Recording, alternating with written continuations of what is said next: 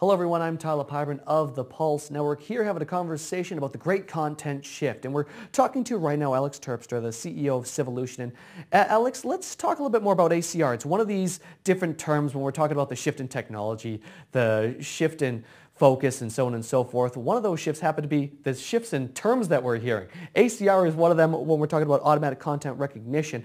Kind of explain that for me a little bit more when, when we started this business, we talked about content identification. Nowadays, we all talk about automatic content recognition, which which is more or less the same thing, but a different different uh, term.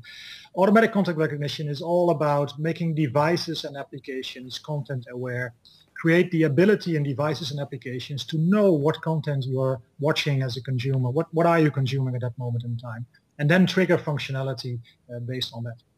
Now, what does this really mean for some of the content owners and the different application developers out there? Um, for me, those are kind of different groups, and sometimes they have similar interests, sometimes not. I think for content owners, they want to create the most compelling uh, experiences around content.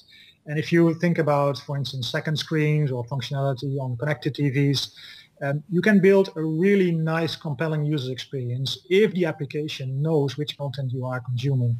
Or if you are on a second screen and you make the second screen automatically synchronize to the content that you're watching on, on TV.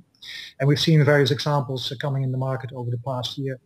For application developers, I think it's a fantastic opportunity to not only develop, you know, certain functions in the application platform, but the ability to make those applications truly and accurately synchronized to the content at the moment that you are uh, consuming the content in the home, regardless of whether that's from linear TV or whether that's a playback from PVR or an on-demand session, that really gives you fantastic opportunities to monetize your applications.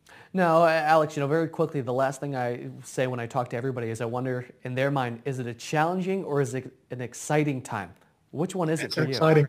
You? Know, no question about it. It's very exciting. I love it. Excellent stuff. He is Alex Terpstra of Civolution. I am Tyler of The Pulse. And I want to thank you guys so very much for being part of our conversation leading up to the 2012 NAB show.